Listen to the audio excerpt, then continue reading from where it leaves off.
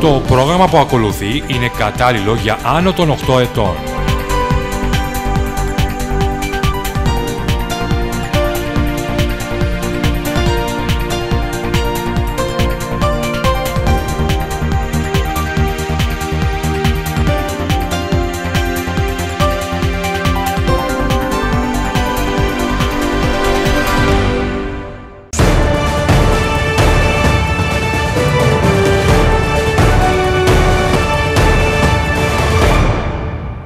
Κυρίες και κύριοι καλησπέρα σας. Είμαστε μαζί σας και σήμερα για να δούμε τα θέματα της εβδομάδας που πέρασε που επικεντρώθηκαν κυρίως στα οικονομικά ως επίπτωση της πανδημίας και να συζητήσουμε για αυτά εξ και των θέσεων που διατύπωσε η αξιωματική αντιπολίτευση στην παρουσίαση του προγράμματος Μένουμε όρθιοι αλλά και μετά βεβαίως τα όσα συνέβησαν σε ευρωπαϊκό επίπεδο και τα οποία συνιστούν θα έλεγε κανείς το νέο, το τελευταίο 24ωρο, αναφορικά με τους τρόπους χρηματοδότησης των χωρών που επλήγησαν περισσότερο από την πανδημία. Γι' αυτό θα έχουμε τη δυνατότητα σήμερα να συζητήσουμε με την κυρία Έφη Αχτσιόγλου, πρώην Υπουργό, βουλευτή του ΣΥΡΙΖΑ και τον κύριο Γιώργο Κίρτσο στη συνέχεια από τις Βρυξέλλες, Ευρωβουλευτή της Νέας Δημοκρατίας, για να έχουμε μία εικόνα του πώς εξελίσσονται τα πράγματα και σε εθνικό και σε ευρωπαϊκό επίπεδο και παράλληλα να συνθέσουμε το παζλ της άποψης και της κυβέρνησης αλλά και της αντιπολίτευσης. Ξεκινάμε λοιπόν με την κυρία Αχτσόγλου, την οποία καλησπερίζω και την ευχαριστώ για την αποδοχή της πρόσκλησης. Καλησπέρα και ευχαριστώ πάρα πολύ που είστε μαζί μας. Καλησπέρα, εγώ σας ευχαριστώ. Διατυπώθηκε από πλευράς ε, ΣΥΡΙΖΑ κυρία Αχτσόγλου τη βδομάδα που πέρασε ένα παράπονο ότι τα μέσα μαζικής ενημέρωσης δεν εστίασαν όσο θα έπρεπε στο πρόγραμμα «Μένουμε όρθιοι 2» του ΣΥΡΙΖΑ. Ε, γιατί εκτιμάτε ότι έγινε αυτό, μπορεί να αποκριβεί η πρόθεση του κόμματος αξιωματικής αντιπολίτευσης να ανταποκριθεί στις ανάγκες της ελληνικής κοινωνίας και της ελληνικής οικονομίας; Ή γιατί θα έλεγε κανείς έτσι για να το θέσω όπως ακριβώς διατυπώθηκε από κάποιες πλευρές δεν έχει αξία πλέον η οικονομική πρόταση αντιπολίτευσης και ιδίως όταν αυτή έχει δοκιμαστεί με μια κυβερνητική θητεία; Ε, υπάρχει ένα γενικευμένο πρόβλημα στην, ε, στον τρόπο που τα μέσα μαζικής ενημέρωσης επικοινωνούν και τις θέσεις των κομμάτων της αντιπολίτευσης. Αυτό νομίζω ότι μπορεί να το καταλάβουν, μπορούν να το καταλάβουν όλοι οι πολίτες. Δεν αναφέρομαι προφανώς στα περιφερειακά μέσα, αναφέρομαι κυρίως στα κεντρικά μέσα μαζικής ενημέρωσης. Ε, ε, της εθνικής εμβέλειας, δηλαδή της πανελλαδικής εμβέλειας υπάρχει μια πολύ, ένας πολύ μεγάλος περιορισμός, σχεδόν αποκλεισμός ε, των φωνών της αξιωματικής αντιπολίτευσης και με έναν τρόπο που είναι προσβλητικός θα έλεγα για τη δημοκρατία. Εμείς ε, είχαμε προβεί και σε ε, επιστολή προς το ΕΣΟΥΡΟΥ το προηγούμενο χρονικό διάστημα διότι ούτε καν τα κρατικά μέσα δεν έδιναν ελάχιστο χρόνο για να ακουστούν οι θέσεις της αντιπολίτευσης, της αξιωματικής αντιπολίτευσης για την οικονομία και για άλλα κρίσιμα ζητήματα. Ε, άρα υπάρχει ένα γενικευμένο πρόβλημα κατά τη γνώμη μου που πρέπει να απασχολήσει κάθε πολίτη για το επίπεδο της ενημέρωσης και, της, ε, και του δημοσίου λόγου. Ε, είμαστε σε ένα ε, σημείο που οποιοδήποτε ουσιαστικά φωνή δεν ε, επικροτεί τις αποφάσεις της κυβέρνησης αποκλείεται από τα κεντρικά μέσα μαζικής ενημέρωσης και αυτό νομίζω πρέπει να καταγραφεί. Ε, σε ό,τι αφορά τώρα το ζήτημα της οικονομικής πολιτικής, αφού φαίνεται ότι σιγά σιγά μάλλον αρχίζουμε και ε, βάζουμε ένα τέλος στο πρόβλημα της πανδημίας, με την επιφύλαξη βέβαια όλων και την αγωνία όλων αν θα υπάρχει κάποιος δεύτερος κύκλος, τα μείζωνα ζητήματα που αναδεικνύονται τώρα έχουν να κάνουν με την οικονομική πολιτική. Διότι το lockdown που επιβλήθη στη χώρα ορθώς για να προστατευτούμε όλοι και να, από, τις, ε, από τις συνέπειες του κορονοϊού προκαλεί αντικειμενικά ένα πολύ μεγάλο, μια πολύ μεγάλη φυσιακή δυναμική στην οικονομία. Ε, το ποιο όμως θα είναι το βάθος αυτής της ύφεσης, το ποιο θα είναι το μέγεθος αυτής της ύφεσης δεν είναι προδιαγεγραμμένο, αλλά εξαρτάται πάρα πολύ από το τι μέτρα έλαβε ή δεν έλαβε η κυβέρνηση στην κρίσιμη χρονική στιγμή, αν έλαβε μέτρα τα οποία σε ποσότητα είναι ικανά να υποστηρίξουν την πραγματική οικονομία ε, και σε ποιότητα είναι τέτοια που μπορούν να στηρίξουν μισθούς εργαζομένων και λειτουργία των επιχειρήσεων.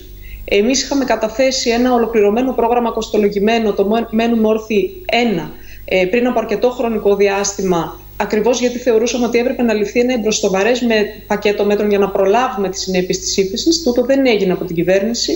Παρ' όλα αυτά, επειδή δεν θέλουμε να λειτουργούμε με μια λογική εμείς σας τα είπαμε τώρα, οι συνέπειες είναι δικές σας, αλλά θέλουμε να είμαστε ε, πραγματικά επιβοηθητικοί. Ε, επικαιροποιήσαμε όλο το πρόγραμμα με βάση και τα νέα δεδομένα που έχουμε στην οικονομία και τη Δευτέρα παρουσιάσαμε επίσης ένα ολοκληρωμένο και κοστολογημένο πρόγραμμα με μέτρα που θα μπορούν να ληφθούν τώρα, τώρα και να έχουν πραγματικά πολύ ευεργετικές συνέπειες στην πραγματική οικονομία. Δηλαδή να μπορέσουν να κρατήσουν και τις επιχειρήσεις ανοιχτές, αλλά και τους εργαζόμενους στις θέσεις τους και με το επίπεδο των μισθών που λάμβαναν στις αρχές του έτους περίπου. Εάν ε, λάβουμε υπόψη ότι ο διαμεσολαβητής, οι δημοσιογράφοι προκειμένου, έχουν ε, μία, θα έλεγε κανείς, ε, αντιπάθεια ενδεχομένως ε, στο ΣΥΡΙΖΑ, το έχετε διατυπώσει πάρα πολλές φορές και όχι τώρα. Ε, έχετε φαντάζομαι όμως τη δυνατότητα να αφουγκραστείτε την κοινή γνώμη και να μετρήσετε τις εντυπώσεις που έχει αφήσει την κοινή γνώμη το πρόγραμμα το οποίο παρουσιάσατε προχθές στο Ζάπιο θα σας ρώταγα λοιπόν ε, ποια είναι οι, ποια, ποιες είναι οι προσλαμβάνουσες που έχετε για τον τρόπο με τον οποίο υποδέχθηκε η κοινωνία το πρόγραμμά σας, στο βαθμό βέβαια που ενημερώθηκε γι' αυτό. Είναι θετικές, ε, είναι επιφυλακτικές, ε, που, πώς ακριβώς ε, βλέπετε ότι το αντιμετώπισε η ελληνική κοινωνία το πρόγραμμα που παρουσιάσατε; Καταρχάς το πρόγραμμα αυτό φτιάχτηκε μετά από εκατοντάδες τηλεδιασκέψεις όλων μας ε, με, την, ε, με τους ε, παραγωγικούς φορείς της αγοράς. Δηλαδή δεν το φτιάξαμε σε συνθήκες εργαστηρίου, κάναμε αλλεπάλληλες τηλεδιασκέψεις κυρίως και με φορείς, ε, των ε, επαγγελματικούς φορείς, επαγγελματικούς συλλόγους, ε, εργοδοτικές οργανώσεις, εργατικές οργανώσεις, εγώ από την πλευρά μου, συνδικαλιστικές οργανώσεις, με έναν εκτεταμένο διάλογο δηλαδή με την κοινωνία των πολιτών, με επιμελητήρια, με επιστημονικούς συλλόγους και έτσι καταλήξαμε και στις προτάσεις που καταλήξαμε. Ε, νομίζω ότι τα μέτρα που προτείνουμε ε, στην, στο περιεχόμενό τους ακουμπούν σε πολύ μεγάλο βαθμό τις ανάγκες της ε, μεγάλης κοινωνικής πλειοψηφίας, δηλαδή και του κόσμου της εργασίας, αλλά και ιδίως των αναγκών των μικρομεσαίων επιχειρήσεων, με έμφαση σε αυτές που πλήττονται ιδιαίτερα, δηλαδή στις επιχειρήσεις του τουρισμού, της εστίασης και των μεταφορών. Η αίσθησή μου είναι, επειδή και στην παρουσίαση στο ΖΑΠΙΟ ήταν προσκεκλημένοι φορείς, ότι τα μέτρα ένα προς ένα ακουμπούν, ε, εφάπτονται αρκετά καλά με τις ανάγκες τους. Αυτό πάντα είναι ένα πρόγραμμα προς ε, διαμόρφωση και προς, ε, ενώ προς εξέλιξη, αλλά στην παρούσα φάση σίγουρα ανταποκρίνονται πολύ περισσότερο στις ανάγκες τους από τα μέτρα που εφαρμόζει η κυβέρνηση. Αυτό το μπορώ να το, μπορώ να το καταθέσω. Υπάρχει ένα μεγάλο πρόβλημα ακόμη βέβαια στην επικοινωνία του προγράμματος. Δηλαδή, εξακολουθούν μεγάλες μερίδες του κόσμου να μην το γνωρίζουν το πρόγραμμα. Να μην το γνωρίζουν. Και αυτό είναι το, το, το δυσάρεστο. Ένα κρίσιμο ερώτημα που θα σας έκανα έχει να κάνει με το εάν εσείς λειτουργείτε κατά κάποιο τρόπο σαν φορέας ε, ικανοποίησης των αναγκών που σας θέτουν συνδικαλιστικοί φορείς και αν αυτό το έχετε διασταυρώσει με τις δυνατότητες της χώρας να εξυπηρετήσει τις, ε, τα αιτήματα, εν πάση περιπτώσει, των παραγωγικών φορέων. Εάν δηλαδή σταθήκατε στο τι ζητάνε κάποιοι, και είναι λογικό να τα ζητάνε με αυτά που περνάνε, ε, θεωρήσατε δίκαια τα αιτήματά τους και είναι λογικό να τα θεωρεί δίκαια κάποιος, διότι όλοι έχουμε εικόνα του μεγέθους των επιπτώσεων που έχει στην οικονομία η πανδημία, αλλά από την άλλη μεριά, εάν αυτό το πράγμα ε, ε, μπήκε σε, σε ένα καλούπι για να δούμε αν μπορεί να ανταποκριθεί η ελληνική οικονομία σε αυτό. Έχει γίνει τέτοιου είδους διασταύρωση των στοιχείων των αναγκών εν πάση περιπτώσει με τις δυνατότητες της οικονομίας γιατί θυμάμαι ότι παλιά ήσασταν ε, περισσότερο μαξιμαλιστές στην ικανοποίηση κοινωνικών ε, ή συνδικαλιστικών αναγκών αλλά μετά δεν έφτασαν τα χρήματα. Εμείς έχουμε μία στρατηγική επιλογή ε, στο πρόγραμμά μας. Σε αυτό πρέπει να είμαι σαφής. Η στρατηγική μας επιλογή είναι ότι προστατεύουμε, θέλουμε με τις προτάσεις μας, με το πρόγραμμα που καταθέτουμε, να προστατεύσουμε τον κόσμο της εργασίας. Και αυτό πρακτικά σημαίνει να προστατεύσουμε τις θέσεις εργασίας, να μην έχουμε δηλαδή απώλεια θέσεων εργασίας και εκτείναξης της ανεργίας, να προστατεύσουμε τις σχέσεις εργασίας, δηλαδή να μην αρχίσουν και μεταβάλλονται οι θέσεις πλήρους απασχόλησης σε μερικής ή εκπεριτροπής εργασίας και να προστατεύσουμε και το επίπεδο των μισθών περίπου σε αυτό που είχε διαμορφωθεί, τουλάχιστον σε αυτό που είχε διαμορφωθεί το Φεβρουάριο του 2020. Άρα μια στρατηγική προφανώς την έχουμε ως πολιτικός χώρος. Ε, εκινούμε δηλαδή από κάποιες στρατηγικές θέσεις. Από εκεί και πέρα όμως Το πρόγραμμα που καταρτήσαμε είναι ένα πρόγραμμα το οποίο είναι ρεαλιστικό απολύτως και στην, ε, είναι κοστολογημένο, είναι ρεαλιστικό, δηλαδή μπορεί να χρηματοδοτηθεί με βάση τα διαθέσιμα που έχει αυτή τη στιγμή το κράτος και μάλιστα να περισσέψουν και πολλά στην άκρη για να μπορούμε να έχουμε ε, μια ασφάλεια και για το μέλλον, για ενδεχόμενο δηλαδή νέας ανατροπής και είναι ένα πρόγραμμα το οποίο λαμβάνει υπόψη του όλες τις πλευρές της αγοράς. Δηλαδή, είναι, για να το πω πιο απλά, είναι προφανές ότι δεν μπορείς να ως κράτος να απαιτείς από έναν εργοδότη ή μια επιχείρηση να καταβάλει το 100% των μισθών και να διατηρεί τις θέσεις εργασίας χωρίς εσύ αυτή την επιχείρηση να την υποβοηθάς οικονομικά τη στιγμή που της είχες επιβάλει να κλείσει. Δεν είναι, δηλαδή, δεν είναι ένα μέτωπο απέναντι ε, στους, στις επιχειρήσεις, το αντίθετο. Είναι ένα ψηφιδωτό αυτή η πρόταση που κατέθεσε ο ΣΥΡΙΖΑ, το, που μπορεί να είναι απολύτως ρεαλιστικό για να, για να στηριχθεί η αγορά συνολικά. Δηλαδή να υποστηριχθούν οι μικρομεσαίες κυρίως επιχειρήσεις γιατί αυτή είναι η ε, δομή της ελληνικής οικονομίας να υποστηριχθούν οι μικρομεσαίες επιχειρήσεις με άμεση ρευστότητα αλλά και με μια πολύ σημαντική κάλυψη του μισθολογικού και μη μισθολογικού κόστους για να μπορούν εν συνεχεία αυτές να δεσμευτούν, να διατηρήσουν τις θέσεις εργασίας και τους μισθούς. Είναι λοιπόν μια ισορροπημένη πρόταση που κοιτάζει όλους τους παραγωγικούς φορείς της ε, οικονομίας. Και δημοσιονομικά είναι απολύτως κοστολογημένη. Η πρόταση που καταθέσαμε συνολικά, που νομίζω ότι ακουμπά σχεδόν όλα τα κομμάτια της κοινωνίας, τα οποία έχουν υποστεί μια πολύ μεγάλη αλλαγή στο εισόδημά τους, δηλαδή ακουμπά όλον τον ιδιωτικό τομέα. Δεν έχουν υποστεί προς το παρόν αρνητικές μεταβολές οι δημόσιοι υπάλληλοι και οι συνταξιούχοι, αλλά τον υπόλοιπο ιδιωτικό τομέα η πρότασή μας τον ακουμπά απολύτως. Είναι μια πρόταση που κοστίζει συνολικά 13,4 δις, όταν οι διαθέσιμες πηγές χρηματοδότησης στη χώρα αυτή τη στιγμή ξεπερνούν τα 24 δις με επιβεβαίωση από τον κύριο Σταϊκούρα ξεπερνούν τα 24. Τα 24 είναι μια πολύ χαμηλή εκτίμηση. Άρα καταθέσαμε ένα πακέτο μέτρων 13,4 δις με πηγές που ξεπερνούν τα 24. Καταλαβαίνετε ότι είναι και ρεαλιστικό και εφαρμόσιμο, αλλά κρατάει και στην άκρη ένα σημαντικό ποσό για να μπορούμε να έχουμε τη δυνατότητα να αντιδράσουμε σε μια νέα πιθανή ανατροπή. Πολιτικά πάντως ο τύπος υποδέχθηκε το πρόγραμμά σας με την ε, υποσημείωση ότι στόχευε στην αποκατάσταση των σχέσεων με τη λεγόμενη μεσαία τάξη, διότι μιλάμε για κάποιες επιχειρήσεις τις οποίες ως κυβέρνηση υπερφορολογήσατε. Νιώθετε ότι αυτό το handicap ε, των σχέσεων που είχατε με τον κόσμο του επιχειρήν και κυρίως με τον μικρομεσαίο, με τη μικρομεσαία επιχείρηση, η οποία υπερφορολογήθηκε, είναι αλήθεια αυτό, κατά τη διάρκεια της δικής σας κυβερνητικής θητείας, ε, μπορείτε, ε, μπορεί να καλυφθεί με τις προτάσεις που κάνετε τώρα; Δηλαδή αποδίδει και πολιτικά ε, για να το θέσω αλλιώς αυτή η πρόταση. Θα μου επιτρέψετε πάντως να κάνω ένα σχόλιο αναφορικά με το τι έγινε στη δικιά μας κυβερνητική θητεία. Ε, επειδή κανείς πρέπει να βλέπει τα πράγματα με βάση τα δεδομένα. Ε, την, ε, αυτό που συνέβη στην περίοδο της διακυβέρνησης του ΣΥΡΙΖΑ δεν ήταν ότι η κυβέρνηση του ΣΥΡΙΖΑ επέβαλε πολλαπλάσιους φόρους στις επιχειρήσεις σε σχέση με το τι είχε γίνει τα προηγούμενα μνημονιακά χρόνια. Δηλαδή την περίοδο 2010 με 2014 η φορολόγηση που, ε, τα, τα, η δημοσιονομική εικόνα των, της φορολόγησης που επιβλήθηκε στις επιχειρήσεις ξεπερνούσε τα 60 δις. Αυτό που έγινε την περίοδο της διακυβέρνησης του ΣΥΡΙΖΑ δεν υπερεύαινε καν τα τρία της. Ναι, Καταλάβετε ότι υπάρχει μια τεράστια διαφορά. Ναι, αλλά η επιβάρηση αναπαραγωγική μονάδα ήταν τελείως διαφορετική. Αυτό, απλώς τι συνέβαινε και αυτό είναι απολύτως αντιληπτό και σε εμάς. Ε, ήταν, ήταν ένας κόσμος ο οποίος είχε επιβαρυνθεί πάρα πολύ τα προηγούμενα χρόνια, δηλαδή την περίοδο 2010-2014 και συνέχισε να επιβαρύνεται και την περίοδο συνέχισε, δηλαδή συνέχισαν να διατηρούνται οι φορολογικές επιβαρύνσεις και την περίοδο που ήμασταν εμείς σε μνημόνιο. Έχει δηλαδή, απόλυτο δίκιο. Υπό την εξής ε, ε, Άρα έφτασε αυτός ο κόσμος να μην μπορεί να σηκώσει άλλο αυτό το βάρος, χωρίς να τον μοιάζει και τόσο πολύ ποιος ακριβώς του το επέβαλε, σωρεύτηκε μια πολύ μεγάλη επιβάρυνση μέχρι τα καλοκαίρι του 2018 και εξέφρασε και την δυσαρέσκειά του απέναντι στο κυβερνών κόμμα. Το τότε ε, κυβερνών κόμμα. Θα έλεγα το εξής, αν μου επιτρέπετε να σας διακόψω για ένα λεπτό, ότι η περιγραφή είναι όπως την κάνετε. Αλλά υπάρχει η εξής διαφορά. Ε, ε, υπήρξε αυτή η κόπωση του κόσμου στην ε, φορολόγηση που ήταν μεγάλη και πριν και μετά αλλά είχε μεσολαβήσει η δική σας δέσμευση ότι θα τον απαλλάξετε από αυτή τη φορολόγηση.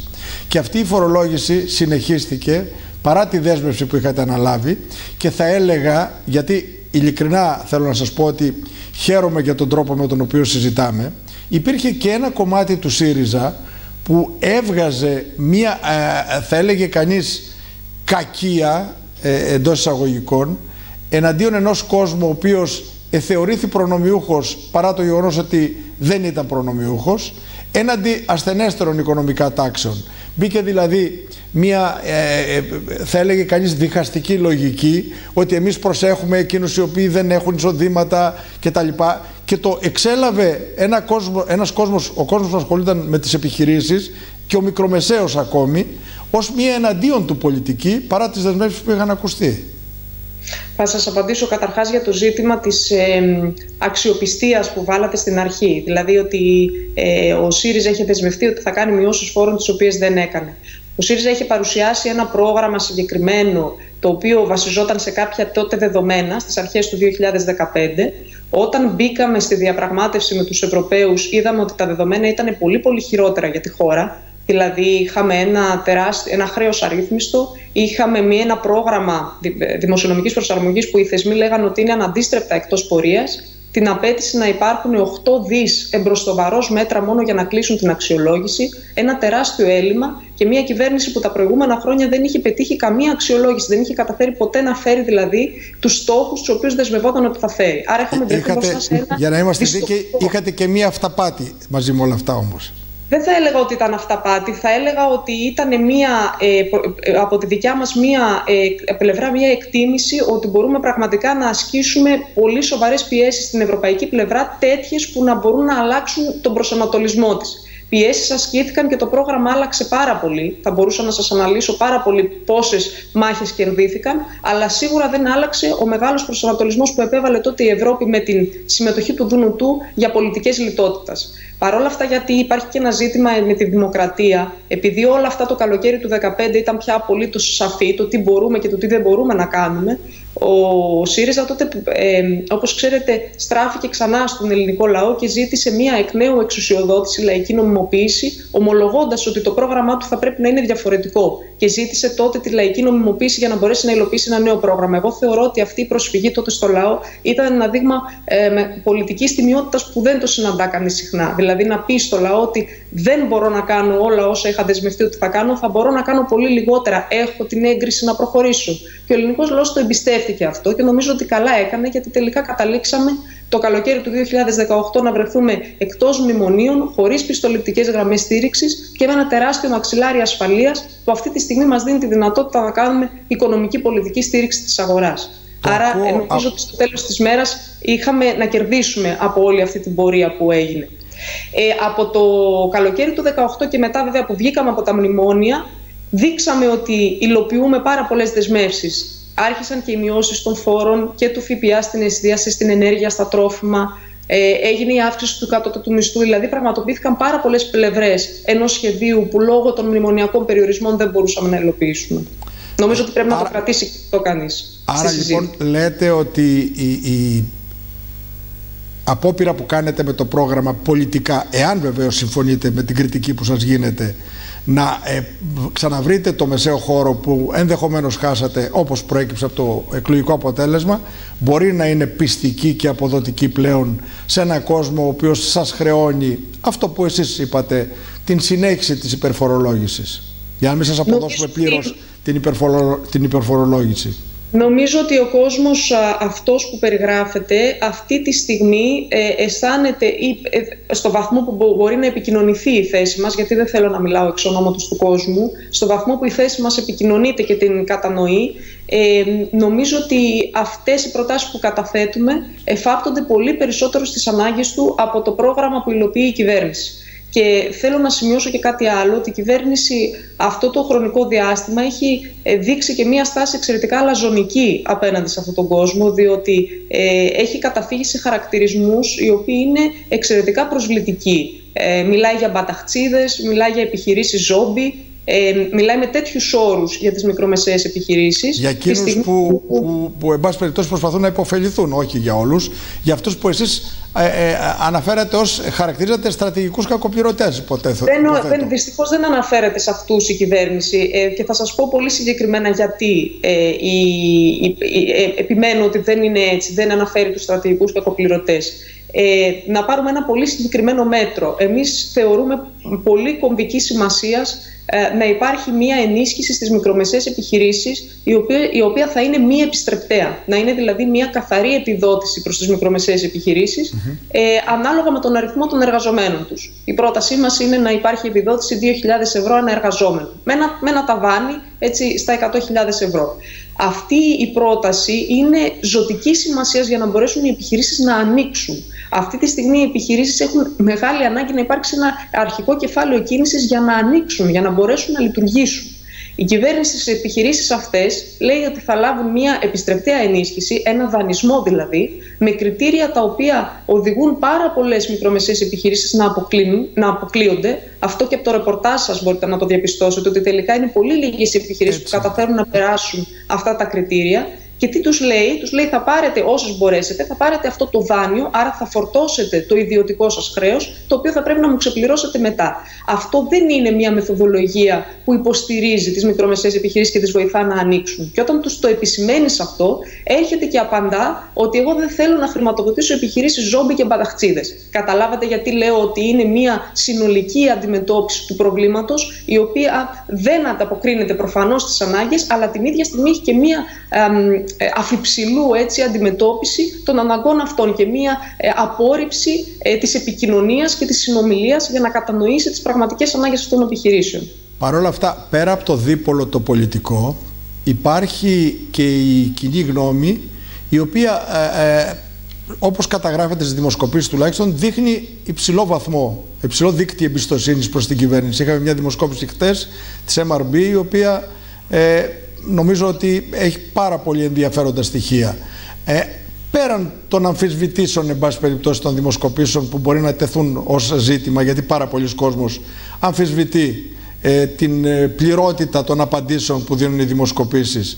Ε, σας ανησυχεί το γεγονός ότι η κυβέρνηση απολαμβάνει τέτοιες εμπιστοσύνης από την ελληνική κοινωνία; Σας ανησυχεί με την έννοια όχι της δικής σας εκλογικής επιβίωσης, αλλά της δυνατότητας που θα έχει πλέον ο λόγος σας να διεισδύσει σε ένα κοινό το οποίο ε, δείχνει να εκτιμά την κυβερνητική πολιτική σήμερα.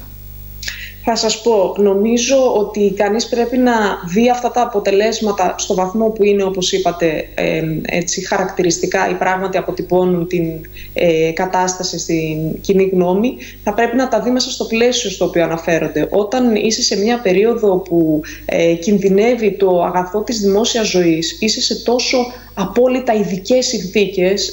Αυτή η περίοδος που περάσαμε ήταν μια εξαιρετική, εξαιρετικά ειδική συνθήκη όπου επιβάλλεται lockdown, όπου οι άνθρωποι κλείνονται στα σπίτια τους, όπου δεν ξέρουν τι συμβαίνει με τη δημόσια υγεία, όπου ανησυχούν για τη δικιά τους υγεία. Είναι πάρα πολύ λογικό κανείς να στρέφει το βλέμμα του στην κυβέρνηση. Δηλαδή η κυβέρνηση, και αυτό έχει συμβεί σε όλες τις ευρωπαϊκές χώρες, αν θα δείτε, τα κυβερνώντα κόμματα έχουν μια μεγαλύτερη συσπήρωση όλη αυτή την περίοδο, διότι ε, κανείς εξαρτάται την ε, υγεία του και την καθημερινότητά του από τις κυβερνητικές αποφάσεις. Άρα είναι ως ένα βαθμό λογικό να στραφεί η προσοχή προς τα εκεί. Όλα εξαρτώνται από το τι ανακοινώσεις θα κάνει η κυβέρνηση, από το πώς θα χειριστεί αυτό το ζήτημα, από το αν θα επιβάλλει lockdown ή όχι, από το αν θα πάμε στη δουλειά μας ή όχι, ε, από το τι, με ποιον τρόπο πρέπει να διαχειριστούμε την επαφή μας με τους άλλους. Είναι εξαιρετικά ειδικές συνθήκες που δικαιολογούν ως ένα βαθμό αυτή την, ε, ε, το, την, το να στραφεί η προσοχή ε, προς τα εκεί. Άρα ως ένα βαθμό και η εμπιστοσύνη. Τα πράγματα είναι διαφορετικά όταν αρχίζουν τα ζητήματα και γίνονται πιο πολιτικά και αφορούν πια την οικονομική διαχείριση της υπόθεσης. Ε, τι θέλω να πω, ότι από εδώ και μπρος νομίζω ότι μπαίνουμε σε μια διαφορετική συζήτηση όπου πια δεν είναι τα πράγματα ποια διαχείριση θα κάνει η κυβέρνηση αναφορικά με τις υποδείξεις των ειδικών για τη δημόσια υγεία, αλλά είναι πια η συζήτηση ποιες πολιτικές κάνεις, αν κάνεις, για να στηρίξεις τους μισθούς των εργαζομένων και τις θέσεις εργασίας τους, για να στηρίξεις τη λειτουργία των επιχειρήσεων, για να στηρίξεις τον τουρισμό και την εστίαση, για να στηρίξεις τους αγρότες που έχουν τεράστια προβλήματα αυτή τη στιγμή. Αρχίζουν λοιπόν τα πράγματα και μπαίνουν σε, μια άλλη, σε ένα άλλο επίπεδο και εκεί νομίζω ότι ο κόσμος αρχίζει πια και συνειδητοποιεί ότι μπορεί να υπάρχουν και διαφορετικά σχέδια αντιμετώπισης. Εμείς προσπαθήσαμε να δείξουμε τη Δευτέρα που μας πέρασε ότι υπάρχει και άλλος δρόμος για να αντιμετωπιστεί αυτή η οικονομική κρίση και τον καταθέσαμε μετρημένα και κοστολογημένα και ρεαλιστικά.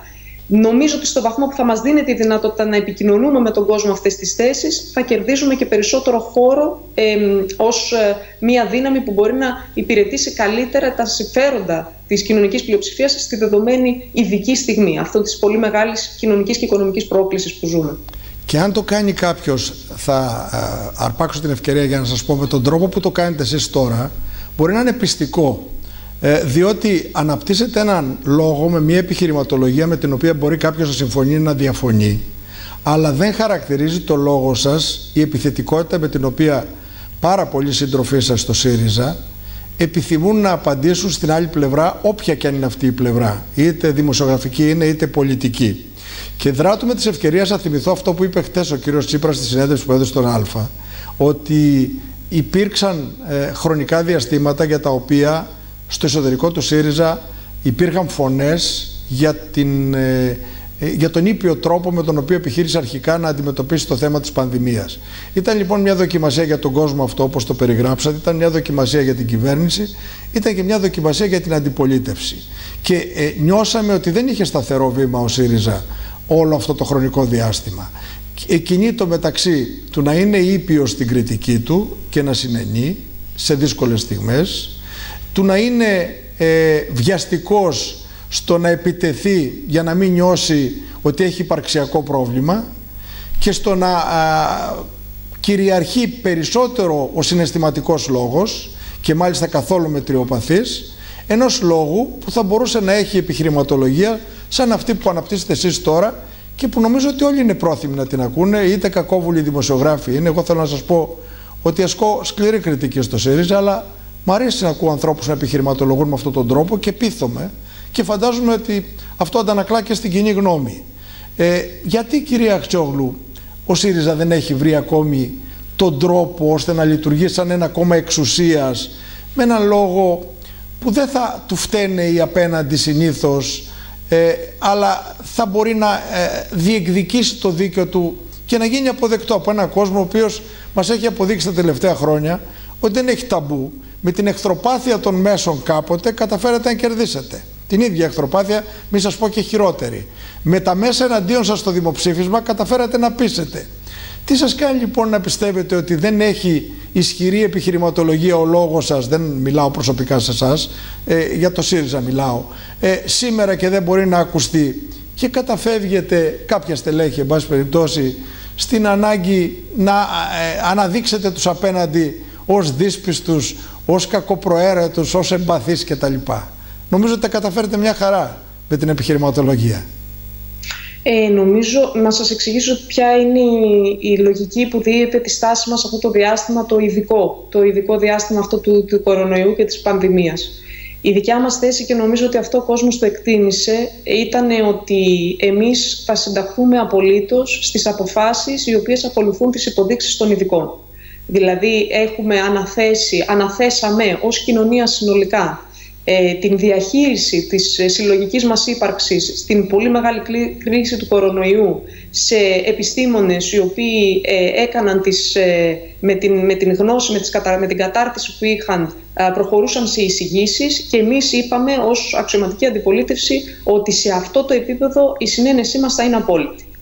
Ε, και το πράξαμε. Και νομίζω ότι ο κόσμος αυτό το εκτίμησε. Και δεν είμαι βέβαιη ότι αυτό θα το έπρατε, για παράδειγμα, η Νέα Δημοκρατία αν ήταν στη θέση μας. Αν ήταν ε, ε, ενώ το περιγράφετε πάρα πολύ το καλά... Αφήνω ως, ε, το αφήνω ως, ε, ως επιφύλαξη. Ναι. Δεν λέω. το αφήνω ως επιφύλαξη αν θα το έπρατε. Το περιγράφετε πάρα πολύ καλά. ξέρετε ότι συνήθως υπάρχει και άλλη πλευρά η οποία καραδοκεί για να εκμεταλλευτεί ε, πιθανές εξάρσεις του αντιπολιτευτικού λόγου. Αυτό το οποίο έμεινε πλέον είναι ότι δεν θα κάνουν πολιτικοί τσιόδρες του κυρίου Φίλη ή του κυρίου Καρτερού το άρθρο για τον Τζόδρα ο οποίος είναι το κλασικό υπόδειγμα της δεξιάς κτλ. το οποίο στην ουσία νοθεύει ένα λόγο ο οποίος επιχειρηματολογεί. Τελικά ε, μπορείτε να μας ξεκαθαρίσετε ποια είναι η ρητορική του ΣΥΡΙΖΑ ή θα πρέπει να καταφεύγουμε σε συγκεκριμένα πρόσωπα για να ακούμε κάποια πράγματα και σε κάποια άλλα για να ακούμε κάποια άλλα πράγματα. Όχι, θα σας εξηγήσω. Ε, ε, εξήγησα το πρώτο μέρος της στρατηγικής μας, της θέσης μας μάλλον, γιατί αυτό δεν, είναι, δεν ήταν μια στάση τι μας βολεύει και τι μας συμφέρει να κάνουμε, ήταν μια στάση υπευθυνότητας απέναντι σε μια πολύ μεγάλη πρόκληση. Από εκεί και πέρα όμως, ιδίως στα ζητήματα που αφορούν την οικονομία, η θέση μας είναι αντιδιαμετρικά αντίθετη από αυτήν που ε, υλοποιεί η κυβέρνηση. Ναι, αυτή είναι η δουλειά σας, να είσαστε απέναντι στην κυβέρνηση και καλά κάνετε.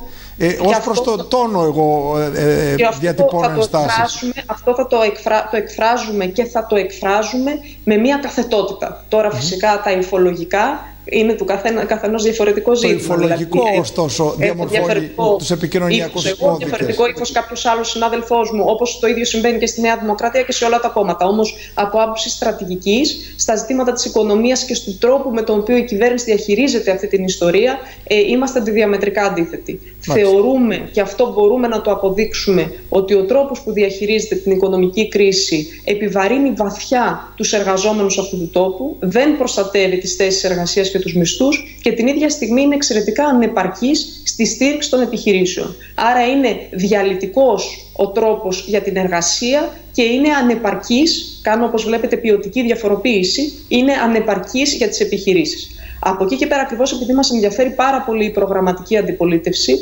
ε, όλο αυτό το διάστημα προχωρήσαμε και με το μένουμε όρθι 1 και με το μένουμε όρθι 2 σε μια πραγματικά προγραμματική αντιπολίτευση. Θέσεις, συγκεκριμένα μέτρα, κοστολογημένα, σε επαφή με την κοινωνία και πίεση για να μπορέσουν αυτά τα μέτρα να συζητηθούν από την κυβέρνηση. Δεν θεωρώ ότι η κυβέρνηση έχει δείξει την ε, σοβαρότητα που θα έπρεπε σε αυτόν τον διάλογο. Δηλαδή στην πρώτη απόπειρα απλώς το απαξίωσε, στη δεύτερη απόπειρα απλώς αμφισβήτησε ε, με φράσεις περί λεφτόδεντρων ότι τα χρήματα αυτά υπάρχουν. Και τελικά ήρθε η ίδια η Ευρωπαϊκή Ένωση να επιβεβαιώσει ότι αυτή τη στιγμή οι δημοσιονομικές δυνατότητες είναι πάρα πολλές και ότι πρέπει να υπάρχουν πολύ γενναία πακέτα μέτρων στήριξης της εργασίας και της επιχείρησης. Άρα τούτη τη στιγμή νομίζω ότι η κυβέρνηση οφείλει να μπει σε ένα διάλογο πραγματικό με τις προτάσεις αυτές μία προς μία. Δεν θέλει να τις ενσωματώσει όλες, προφανώς έχουμε άλλη στρατηγική εμείς, άλλον κόσμο κοιτούμε εμείς περισσότερο για να, ε, που θεωρούμε κομβικό. Ενδεχομένως η κυβέρνηση κοιτάει κάπως διαφορετικά τα ζητήματα. Είμαστε και δύο αντίθετοι πόλοι. Ωστόσο υπάρχουν προτάσεις οι οποίες μπορούν να εξυπηρετήσουν περισσότερα μέρη, όπως αυτά για τις μικρομεσαίες επιχειρήσεις, όπως αυτά για τους μισθούς, που πρέπει η κυβέρνηση οφείλει κατά τη γνώμη μου να μπει σε ένα σοβαρό διάλογο με αυτές τις προτάσεις. Μάλιστα. Τώρα μιας και θίξατε το ευρωπαϊκό, να πάμε και εκεί για να κάνουμε πάσα πλέον στις Βρυξέλλες που θα ακούσουμε ε, από τον κύριο Κίρτσο το τι ακριβώς τεκταίνεται εκεί. Θέλω λοιπόν να σας ρωτήσω εάν ήταν έκπληξη για σας ε, αυτό το οποίο συνέβη σε ευρωπαϊκό επίπεδο, γιατί μην ξεχνάμε ότι πάρα πολλοί προέβλεπαν από διάλυση της Ευρώπης μέχρι μια στάση των Γερμανών εντελώς αντίθετη προς τις προσδοκίες των Ευρωπαίων πολιτών και τελικά εμφανίζεται ε, η Ευρώπη να πιάνει το μήνυμα πολύ πιο εύκολα από ό,τι υποθέταμε ε, να γκρεμίζονται ταμπού που είχαμε σε σχέση με τη στάση των Γερμανών κλπ. κλπ και να βρισκόμαστε κοντά σε ένα καινούριο σχέδιο Marshall όπως ονομάζεται, ονομάζεται που συνιστά και μία έκπληξη πλέον γιατί φαίνεται ότι μιλάμε για μια Ευρώπη η οποία ε, την ώρα που νιώθαμε ότι τελειώνει αναγεννάται θα έλεγε κανείς ως ιδέα ε, όχι μόνο εξαιτίας του ενδιαφέροντος που δείχνει στον οικονομικό τομέα, αλλά της ανάγκης της να λειτουργήσει ε, ε, ε ως μια ε, δύναμη συνοχής. Η, τα όσα ανακοινώθηκαν προχθές είναι οπωσδήποτε μια θετική εξέλιξη. Αυτήν τη θετική εξέλιξη εμείς προφανώς την υποστηρίζουμε και θα έλεγα ότι σε πολύ μεγάλο βαθμό επιβεβαιώνει και αρκετές από τις διεκδικήσεις που είχαμε, κυρίως οι προοδευτικές δυνάμεις στην Ευρώπη συνολικά. Θυμίζω ότι οι βασικές διεκδικήσεις των προοδευτικών δυνάμεων στην Ευρώπη ήταν να αυξηθεί ο κοινοτικός προπολογισμό, πράγμα που τώρα γίνεται, να υπάρχει αμοιβεοποίηση του χρέους, πράγμα που τώρα φαίνεται επίσης ότι γίνεται, και να υπάρχει ειδική μέρημνα για τις χώρες του Νότου, δηλαδή η κατανομή των κονδυλίων να μην γίνεται μόνο με βάση το ΑΕΠ της κάθε χώρας, αλλά και τις ανάγκες της τις κοινωνικές, επίπεδο ανεργίας, φτώχειας κτλ. Πράγμα που επίσης φαίνεται ότι τώρα γίνεται. Άρα είναι αυτά τα πράγματα έτσι όπως είναι τώρα συνιστούν μια θετική εξέλιξη που σε πολύ μεγάλο βαθμό απαντούν και σε πάγιες διεκδικήσεις που είχαν οι προοδευτικές δυνάμεις στην Ευρώπη συνολικά. Και για μας συνιστά και, μια, και ένα πολύ καλό μήνυμα αυτή η μετατόπιση. Και όπως είπατε, σπάζει και, σπάει και πολλά ταμπού και πολλά κλισέ που είχε η Ευρώπη στον τρόπο που διαχειριζόταν τα ζητήματα, ότι δεν αμοιβαιοποιεί το χρέος, ότι κατανέμει τους πόρους μόνο με βάση το ΑΕΠ, ότι δεν αυξάνει τους προπολογισμού, ότι σε τέτοιες περιπτώσεις προβαίνει σε προγράμματα λιτότητας αντί να δει πώς θα δαπανά παραπάνω κτλ. Ε, άρα αυτά είναι συγκαταλέγονται στα πολύ θετικά. Είναι πολύ θετικό επίσης το γεγονός ότι η Ευρώπη αυτή τη στιγμή με βάση τις ανακοινώσεις μιλά για επιχορηγήσεις και όχι μόνο για δάνεια. Grants έρχεται δηλαδή να κάνει επιχορηγήσεις, να συζητήσει επιχορηγήσεις προς τα κράτη, όχι μόνο δανεισμό. Εκεί που πρέπει να κρατήσουμε μια σοβαρή επιφύλαξη έχει να κάνει με το αν αυτά τα πράγματα που ανακοινώθηκαν θα συνοδευτούν από αιρεσιμότητες. Αιρεσιμότητες σημαίνει μορφές μνημονίων, όπου εκεί είναι πάρα πολύ σοβαρά τα ζητήματα. Δεν πρέπει να υπάρχουν τέτοιου τύπου αιρεσιμότητες. Και το δεύτερη, η, δεύτερη, η δεύτερη σημείωση είναι να δούμε τι θα γίνει ε, στο Συμβούλιο, στο Ευρωπαϊκό Συμβούλιο. Διότι ξέρετε ότι στο Ευρωπαϊκό Συμβούλιο υπάρχει μια πολύ μεγάλη πίεση πολύ συχνά από τις χώρες του Βορρά ε, και η αντίσταση πολλών χωρών του Βορρά σε τέτοιου τύπου πακέτα. Άρα έχουμε μια οπωσδήποτε θετική εξέλιξη, μια φαίνεται προς το παρόν ικανοποίηση πολλών διεκδικήσεων των προοδευτικών δυνάμων παγίως όλα αυτά τα χρόνια, αλλά και δύο πολύ σοβαρές ε, υποσημειώσεις, για τις οποίες πρέπει να κρατήσουμε μια επιφύλαξη και να δούμε πώς θα εξελιχθεί οι οποίες συνήθως λύνονται με τους ε, γνωστούς συμβιβασμούς, γιατί υπάρχει η περίφημη αρχή της ομοφωνίας, που δεν επιτρέπει ε, λήψη απόφασης με πλειοψηφία. Ναι, υπάρχει, θα υπάρχουν και διαδικαστικά θέματα αρκετά. Πρέπει να δούμε, για παράδειγμα, αν αυτά τα πακέτα αφορούν ε, διάστημα τριετίας ή τετραετίας. Είναι διαφορετικά τα δεδομένα. Οι, εξ όσων γνωρίζω, θέλουν τα, α, οι εγκρίσεις για τις εκταμιεύσεις σε κάθε χώρα να γίνονται από το σύνολο των υπόλοιπων χωρών. Δηλαδή, θα πρέπει να κάνει αίτηση μία χώρα και όλες οι υπόλοιπες να ψηφίζουν για την αποδοχή της αίτησης αυτής της μία χώρας. Αυτό επίσης θα δυσκολέψει κάπως τα πράγματα. Αλλά ας δούμε αυτές οι λεπτομέρειες πώς θα εξειδικευθούν. Πολλές φορές ο διάβολος κρύβεται στις λεπτομέρειε. Προς το παρόν, κρατάμε ότι έχουμε μια θετική εξέλιξη και μια μετατόπιση της Ευρώπης, την οποία πρέπει και η κυβέρνηση του κ. Μητσοτάκη να τη δει. Γιατί ε, ουσιαστικά έρχεται να επιβεβαιώσει ότι πρέπει να προχωράμε με πιο γενναία δημοσιονομικά πακέτα στήριξης της εργασίας ε, και των επιχειρήσεων. Αυτό πρέπει να το, να το πάρει το μήνυμα και η κυβέρνηση. Μάλιστα. Σας ευχαριστώ πάρα πολύ για την παρουσία σας, για τη Εγώ συζήτηση που είχαμε και σας εύχομαι καλή συνέχεια.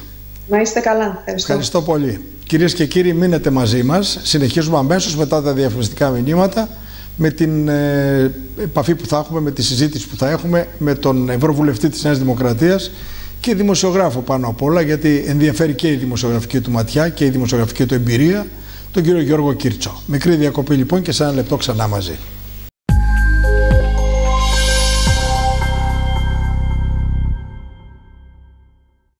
Φοράμε μάσκα αλλά πόσο σωστά τη φοράμε. Οι επαγγελματίες υγείας έχουμε εκπαιδευτεί σε αυτό. Όμως δεν είναι επιστήμη. Είναι απλά βήματα που εκτελώντας τα με συνέπεια θα γίνουν συνήθεια για όλους. Αρχικά, και το πιο βασικό, πιάνουμε τη μάσκα μόνο με χέρια που έχουμε καθαρίσει επιμελώς με νερό και σαπούνι ή έχουμε εφαρμόσει αντισηπτικό διάλειμμα. Εάν η μάσκα έχει σειρματάκι, η πλευρά αυτή μπαίνει επάνω. Πιέστε ελαφρά στη ράχη της μύτης. Αν φοράτε γυαλιά, επιμείνετε σε αυτό για να μην θαμπώνουν. Στη συνέχεια, περνάμε τα λαστιφάκια πίσω από τα αυτιά και ξεδιπλώνουμε τη μάσκα ώστε να αγκαλιάσει και το πηγούνι. Αυτό είναι. Αλλά προσέξτε, δεν αγγίζουμε ποτέ τη μάσκα όταν τη φοράμε και την αντικαθιστούμε αμέσως όταν νιώσουμε ότι αυτή δεν είναι πλέον στεγνή. Για να τη βγάλουμε, καθαρίζουμε πρώτα σχολαστικά τα χέρια και μετά πιάνουμε από τα λαστιχάκια και ποτέ από το μπροστινό μέρος. Αμέσως την τοποθετούμε σε σακουλάκι και στη συνέχεια πλένουμε πάλι τα χέρια μας. Η υφασμάτινη μάσκα σαν αυτή μπορεί να ξαναχρησιμοποιηθεί. Την πλένουμε το συντομότερο δυνατόν στους 60 βαθμούς Κελσίου και οπωσδήποτε τη σιδερώνουμε πριν την ξαναφορέσουμε.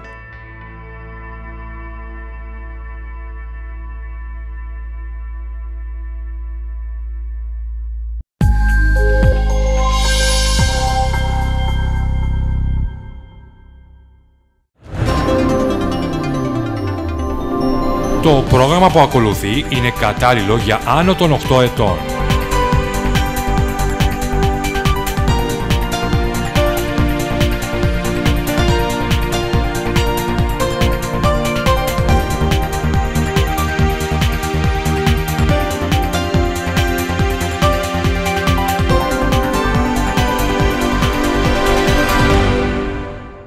Δεύτερο μέρος εκπομπής κυρίες και κύριοι, συνεχίζουμε μετά την κυρία Έφη Αχτσόγλου. Ο Ευρωβουλευτής της Νέας Δημοκρατίας, ο κύριος Γιώργος Κίρτσος είναι μαζί μας που νομίζω ότι εκτός από την πολιτική του ιδιότητα είναι η δημοσιογραφική και η δημοσιογραφική του εμπειρία κυρίως εκείνη που θα μας βοηθήσει να αποκωδικοποιήσουμε όλα όσα συνέβησαν στις Βρυξέλλες ευνηδίως τις τελευταίες ημέρες και ανέτρεψαν όλα τα δεδομένα, όλα τα στερεότυπα που είχαμε για την Ευρωπαϊκή Ένωση. Λόγω χάρη ότι οι Γερμανοί συνήθως δεν μοιράζουν χρήματα, η Ευρωπαϊκή Ένωση δεν μοιράζει επιχορηγήσεις, ε, η Ευρωπαϊκή Ένωση δεν στέκεται στην ανάγκη των ε, ε, χωρών οι οποίες έχουν νιώσει την επίπτωση της πανδημίας στην οικονομία τους όσο θα έπρεπε κλπ. κλπ, κλπ. Καλησπέρα λοιπόν κύριε Κίρτσο και σας ευχαριστώ για την αποδοχή της πρόσκλησης καταρχήν. Ε, εγώ ευχαριστώ για την πρόσκληση και συμφωνώ μαζί σας ότι πρόκειται για μια μεγάλη ανατροπή.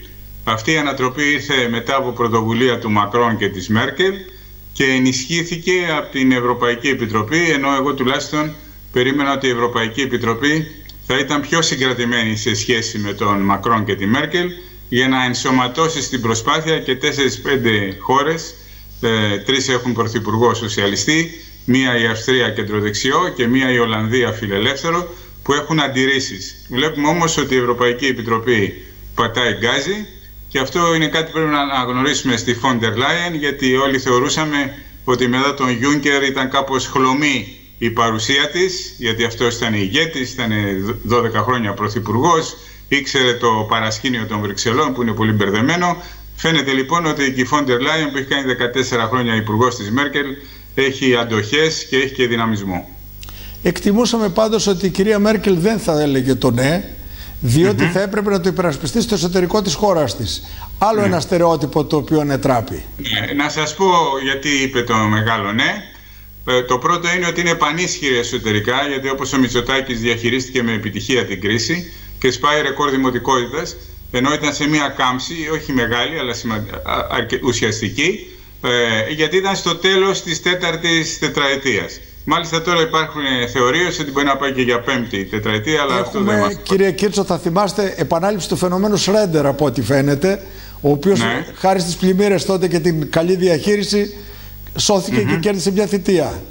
Ναι, λοιπόν, ε, ενώ οι χριστιανοδημοκράτες υποχωρούσαν προς το 25% και οι, είχαν πάρει 33% στις εκλογές του 2017 και οι, ε, οι πράσινοι ανέβαιναν, ήταν στο 22% με ανωδική τάση, τώρα οι χριστιανοδημοκράτες είναι κοντά στο 40% και οι πράσινοι είναι δεύτεροι με 17-18 με τρίτους τους σοσιαλδημοκράτες που είναι και στην κυβέρνηση με 16.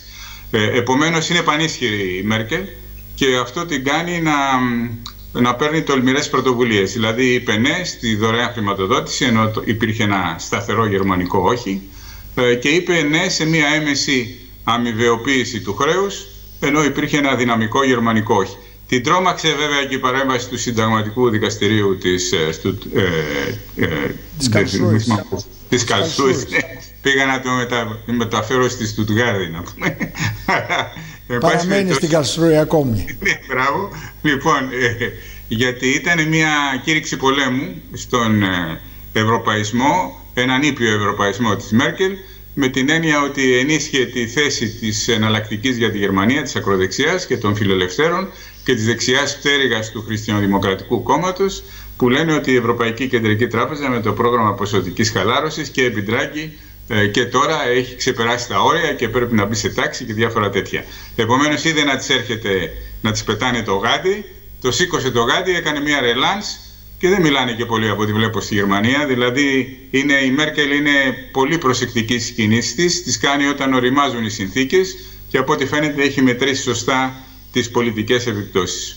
Διάβαζα μια διά, ε, συνέντευξη του Προέδρου της Διάσκεψης του Μονάχου, νομίζω στον Αλέξη Παπαχελά την περασμένη εβδομάδα, ναι ο οποίος έλεγε ότι τα δύο τρίτα των Γερμανών έχουν φιλοευρωπαϊκή κατεύθυνση και εκ των πραγμάτων πλέον αυτό που ε, ισχύει στην Ευρωπαϊκή Ένωση, αυτό που ακούγεται στην Ευρωπαϊκή Ένωση, ότι οι Γερμανοί δεν είναι και τόσο πολύ υπέρ της Ευρωπαϊκής Ενοποίησης, μπορεί να είναι ένας μύθος εν τέλει. Ε, και ε, ναι, εντάξει, αλλά επειδή τους έχω ζήσει του Γερμανούς, είμαι σε επιτροπές που κυριαρχούνται από Γερμανούς, Επιτροπή Οικονομικών Υποθέσεων, Επιτροπή Προπολογισμού, ε, Υποεπιτροπή Άμυνας και Ασφάλειας. Θα σας πω ότι έχουν και αυτή την τάση να είναι φιλοευρωπαϊστές αλλά στο δωρεάν. Δεν γίνονται αυτά. Δηλαδή, αν είμαστε φιλοευρωπαϊστές, ο καθένας θα βάλει στο τραπέζι αυτό που μπορεί. Εμείς μπορούμε να βάλουμε τα εξωτερικά σύνορα, μπορούμε να βάλουμε την άμυνα έναντι του Ερντογάν, το προσφυγικό μεταναστευτικό, μπορούμε να βάλουμε διάφορα πράγματα. Ε, αν δεν βάλουν και οι Γερμανοί κάποια λεφτά, τι κάνουμε. Εν πάση περιπτώσει, αποφάσισαν να τα βάλουν πρώτον γιατί η Μέρκελ είναι πανίσχυρη, δεύτερον γιατί είδαν ότι στην Ιταλία το πράγμα δεν τραβάει ε, και υπάρχει μια αντιευρωπαϊκή τάση στην Ιταλία, δικαιολογημένη κατά την άποψή μου, διότι αντί να σκεφτεί οι Βρυξέλλες και το Βερολίνο τα προβλήματα της Ιταλίας, κρατάνε αποστάσεις, δεν στέλνουν λεφτά, τώρα βέβαια το αλλάξανε και καλά κάνανε. Ε, επομένως, ε, και βέβαια ε, το τρίτο είναι ότι ε, όλοι οι οργανισμοί και όλα τα θεσμικά όργανα της Ευρωπαϊκής Ένωσης βλέπουν βάθημα της κρίσης, δηλαδή η Ευρωπαϊκή Επιτροπή βλέπει μείον 9,7% για την Ελλάδα, μείον 9,4% για την Ισπανία, μείον 9,5% για την Ιταλία, το Διεθνές Νομισματικό Ταμείο προειδοποιεί ότι θα πάμε χειρότερα, η Λαγκάρντ μας λέει ότι το, το καλό σενάριο, δηλαδή η πτώση 4, 4 έως 5% αν θυμάμαι καλά, έχει ξεπεραστεί και πάμε για 8 έως 12% στην Ευρωζώνη. Επομένως τα καμπανάκια βαράγανε, κάτι έπρεπε να γίνει και επειδή είχε πια την, ε, την πολιτική δυνατότητα το έκανε και μπράβο της. Τώρα το ερώτημα είναι το εξής. Αυτοί που αντιδρούν ε, είναι προφανές ότι δεν μπορούν να ανατρέψουν τη δυναμική που έχει πάρει το πράγμα.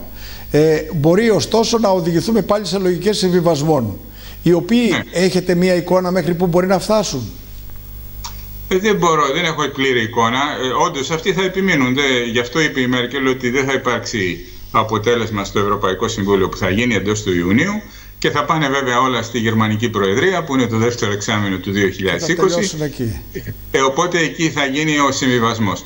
Ελπίζω ο συμβιβασμός να μην είναι σε βάρος της Ελλάδας και των χωρών που έχουν ανάγκη, αλλά να είναι υπέρ αυτών των χωρών που έχουν αντίρρηση. Δηλαδή, μπορεί να βρεθούν τρόποι ώστε η συνεισφορά τους να είναι κάπως μειωμένη, αλλά χωρίς να μειωθούν τα ωφέλη για μας, ε, ή να πάρουν κάτι που τους απασχολεί ε, και δεν το λένε καθαρά, αλλά το μουρμουρίζουν στους διαδρόμους. Υπάρχουν, είναι σύνθετη πάντα η, η μέθοδος των Βρυξελών, ε, αλλά συμφωνώ μαζί σας ότι υπάρχει ένας κίνδυνος να, να συμβιβαστούμε προς τα κάτω, ενώ θέλουμε έναν συμβιβασμό τουλάχιστον εκεί που είμαστε. Γιατί μας δίνει ελπίδα για την περίοδο μετά το 2021. Βέβαια υπάρχει ένα τεράστιο ζήτημα τι θα κάνουμε τους επόμενους 12 μήνες που είναι κρίσιμοι. Τώρα το ερώτημα είναι πέραν των οικονομικών τι σημαίνει αυτή η στροφή για την πολιτική ε, ενοποίηση της Ευρωπαϊκής Ένωσης; Εκεί που την είχαμε μισοπεθαμένη, εκεί που κάποιοι της κάναν τον επικίδιο τους προηγούμενους μήνες ήρθε κάτι τόσο θεαματικό για να μας πείσει ότι αυτή η ιστορία αντέχει και ότι μάλλον την τροφοδοτούν οι κρίσεις κύριε Κίρτσο. Ναι, υπάρχει μια παράδοση, το επισημαίνω και εγώ ε, στις παρεμβάσεις μου, ε, ότι υπάρχει μια παράδοση ε, δημιουργικών κρίσεων στην Ευρωπαϊκή Ένωση. Ξέρω ότι εγώ ξεκίνησε με την κρίση της άδειας καρέκλας με το Ντεγκόλ να σαμποτάρει το Συμβούλιο διότι δεν είχε πάρει ό,τι ήθελε στην κοινή αγροτική πολιτική. Τελικά τα πήρε η Γαλλία και από τότε η κοινή αγροτική πολιτική είναι στα μέτρα της Γαλλίας. Μετά είχαμε διάφορες κρίσεις, ε, από ε, κρίσεις που είχαν σχέση με τον ψυχρό πόλεμο, δηλαδή ε, πύραυλη, πυρηνική πύραυλη μεσαίου βεληνικού στη Δυτική Γερμανία τότε, ε, οι οποίοι αποσυντόνισαν και τον ΝΑΤΟ αλλά και την τότε ΕΟΚ. Ε, πιο πρόσφατα είχαμε την κρίση του 2008-2009 και όσοι ακολούθησαν, δηλαδή χρειάστηκε να πάμε το 2012 και να πει ε, ο Ντράγκη whatever it takes, δηλαδή θα κάνω ό,τι πρέπει για να σωθεί το ευρώ. Ε, άρα είναι αυτή μια μέθοδος κοινοτική που επειδή είναι πολύ δύσκολη συνεννόηση με τόσους πολλούς παίκτες, περιμένουμε να φτάσουμε ένα βήμα πριν ε, την Άβυσσο για να συνέλθουμε. Βέβαια αυτό εμένα δεν μου πάει πρέπει να σας πω γιατί είμαι έκτο χρόνο στην Επιτροπή Οικονομικών Υποθέσεων και στην Επιτροπή Προϋπολογισμού ε, και βλέπω μια στασιμότητα η οποία είναι ε, δηλαδή σε διαλύει και ψυχολογικά ε, και χρειάστηκε να έρθει ο κορονοϊός να καταλάβουμε ότι πέφτει η Ιταλία δεν πέφτει να μας πούνε όλοι οι διεθνείς οργανισμοί ότι καταραίουμε σχεδόν πλήρως το 2020 για να έρθει η μεγάλη αλλαγή. Και γιατί να μην γινόταν η αλλαγή πριν ένα ή δύο χρόνια σε συνθήκες ομαλότητας, να πέφταν τα λεφτά, να αναπτυσσόμασταν όλοι και να ήμασταν όλοι μια χαρά. η αρχή της ομοφωνίας είναι κατάρα τελικά, γιατί νομίζω ότι αυτό είναι το πρόβλημα. Ότι πρέπει να ομοφωνήσουν οι πάντες, να μην υπάρχει ούτε ένας να κάνει βέτο, οπότε αυτό κάνει αργόσυρτο το μηχανισμό. Ναι, από την άλλη όμως δεν είναι και εύκολο να το δεχθείς. Ε, δηλαδή, ε, καταλαβαίνω αυτό που λέτε και εγώ είμαι, ανήκω στον κύκλο του, των Ευρωπαϊστών. Είμαι μέλος του ομίλου Σπινέλη. Ο Σπινέλη ήταν ένας Ιταλός αντιφασίστας με μεγάλη συμβολή στην Ενωμένη Ευρώπη ε, και είμαστε εκεί κεντροδεξιοί, κεντροαριστεροί, ε, αριστεροί, διαφόρων πολιτικών αποχρώσεων αλλά θέλουμε περισσότερη Ευρώπη. Αυτό, αυτό μας ενώνει. Αλλά πρέπει να σας πω ότι δεν υπάρχει δυναμική για περισσότερη Ευρώπη. Ακόμα και αυτό τώρα που το καλό γίνεται με περίεργες συνθήκες. Δηλαδή, υποπίεση. Ε, ε, υπο, πρώτον υποπίεση και δεύτερον ανορθόδοξα. Δηλαδή δεν έχουμε συμφωνήσει στην αύξηση του ευρωπαϊκού προϋπολογισμού. Οπότε παίρνει η Ευρωπαϊκή Επιτροπή ένα δικαίωμα να αυξήσει προσωρινά τις δαπάνες, να αυξήσει την οροφή στις δαπάνες και επειδή δεν θέλουν οι περισσότεροι να συμβάλλουν, ε, δίνουν δικαίωμα στην Ευρωπαϊκή Επιτροπή να βγει στις αγορές και να δανειστεί. Επειδή όμως αυτά πρέπει κάποτε να πληρωθούν, βάζουμε ένα στόχο ότι ε, μέσα σε ένα χρονικό διάστημα θα αυξήσουμε, θα συμφωνήσουμε στην αύξηση των ιδίων πόρων, ε, για παράδειγμα φόρος στη, στην ψηφιακή οικονομία, στις ψηφιακές πολυεθνικές ή φόρος στα μη ανακυκλώσιμα πλαστικά μιας χρήσης ή φόρος στις εισαγωγές, μάλλον τέλος της τέλης στις εισαγωγές που έχουν μεγάλη επιβάρυνση στο, με τα ε, αέρια του θερμοκηπίου ε, αλλά όλα αυτά είναι θεωρίες γιατί εγώ είμαι σε ειδικές επιτροπές φορολογικές και θα σας πω ότι ήδη οι πόροι ε, και η αλλαγή τους και η ανάγκη αύξησής τους ε, συζητούνται από το 1995. Στην αρχή δηλαδή μπήκα σε μια, μπήκα σε μια επιτροπή χαρούμενος ότι θα έκανα τη φορολογική μεταρρύθμιση της Ευρωπαϊκής Επιτροπής και μετά διαπίστωσα ότι συζητάνε τα ίδια πράγματα το τελευταίο τέταρτο του αιώνα. Ε, επομένως, ε, τώρα το έχουν γυρίσει ανάποδα, αντί να πάνε ορθόδοξα να πάρουν τις αποφάσεις για περισσότερη Ευρώπη και περισσότερη συμμετοχή, το φέραν ανάποδα, πηγαίνετε να δανειστείτε και αφού δανειστείτε και αυξήσουμε το, τις δαπάνες χωρίς να αυξήσουμε ανάλογα τον προϋπολογισμό, θα βρούμε έναν τρόπο να πληρώσουμε το χρέος σε βάθος χρόνου. Ανάποδα όλα. Αυτά... Αλλά εν πάση περιπτώσει ξεκινήσαμε. Αυτά που κάνουν οι υπεραισιόδοξοι συνήθως προϋπολογισμοί. Ε, για να ανταποκριθούν στις ανάγκες να χρηματοδοτήσουν κάτι χωρίς να υπάρχουν τα χρήματα μπροστά. Τώρα, ναι. θέλω λίγο να δούμε από ελληνικής πλευράς τα πράγματα. Η Ελλάδα πρέπει να είναι ικανοποιημένη με τα χρήματα που έρχονται στη χώρα και κυρίως ε, αυτό που υποσχέθηκε χθες ο Πρωθυπουργός, ότι δεν θα έχουμε συμπεριφορά νεόπλουτου, ε, ναι. μπορούμε να το καταφέρουμε. Δηλαδή, είναι ωραίο να το, να το ακούει κανείς. Ναι, αλλά... καταρχήν πρέπει, ναι, πρέπει να σας πω ότι ε, πρέπει να είμαστε ενθουσιασμένοι, όχι ευχαριστημένοι. Ναι. Εγώ είμαι ένας άνθρωπος που ανήκω στον χώρο του Ευρωπαϊκού Λαϊκού Κόμματος και έχω δουλέψει για να γίνουν αυτά ε, στο μέτρο των δυνατοτήτων μου Ειλικρινά σας λέω ότι πριν ένα μήνα τα θεωρούσα αδιανόητα περίπου και πριν ε, δύο-τρεις εβδομάδες θεωρούσα ότι ο συμβιβασμός της Ευρωπαϊκής Επιτροπής θα ήταν προς τα κάτω και όχι προς τα πάνω. Επομένως έχω δύο ευχάριστες διαψεύσεις ε, και είμαι εκπαιδευμένος και σαν δημοσιογράφος και σαν επιστήμονας, οικονομολόγος και σαν άνθρωπος των, ε, του Ευρωπαϊκού Κοινοβουλίου. Τρίτη δηλαδή, διάψευση θα έχετε τώρα, δεν θα συμπεριφερθούμε σαν νεόπλουτοι. Πώς το ε, βλέπετε; Καταρχήν πρέπει να σας πω ότι σε αυτό το θέμα διαφωνώ με τον Πρωθυπουργό, γιατί είμαστε νεόφτωχοι, δεν είμαστε νεόπλουτοι. Ναι. λοιπόν, επομένως, επειδή είμαστε νεόφτωχοι, νομίζω ότι βάλαμε μυαλό ε, και είμαστε νεόφτωχοι σε επίπεδο κράτους, σε επίπεδο κοινωνίας και πολλές φορές και σε προσωπικό επίπεδο. Γιατί εγώ πριν 10 χρόνια ήμουν ανερχόμενος εκδότης του Free Press και τώρα το μόνο που μου έμεινε από το Free Press είναι οι προσωπικές οφειλές, δηλαδή οφειλές της εταιρείας που έχουν προσωποποιηθεί με βάση τρελούς νόμους που μόνο στην Ελλάδα υπάρχουν. Αλλά, εν πάση περιπτώσει, αυτά όλα έχουν συμβεί σε ένα μεγάλο ποσοστό του ελληνικού πληθυσμού. Επομένως, έχουμε τη σοφία από τη δοκιμασία που περάσαμε. Άρα, πιστεύω ότι χρειαζόμαστε μια στρατηγική εξυγχρονισμού της οικονομίας, λιγότερες, ε, ε, λιγότερο τουρισμό και περισσότερο ποιοτικό, περισσότερο πρωτογενή παραγωγή ποιοτική, επιστροφή στη βιομηχανία, ψηφιακή μετάβαση ε, μετάβαση σε ζητήματα περιβάλλοντος, όλα αυτά πρέπει να οργανωθούν και να γίνουν σωστά, γιατί ειλικρινά πιστεύω ότι είναι η τελευταία ευκαιρία. Ή θα την αξιοποιήσουμε ή μετά κανείς δεν θα ασχοληθεί μαζί μας.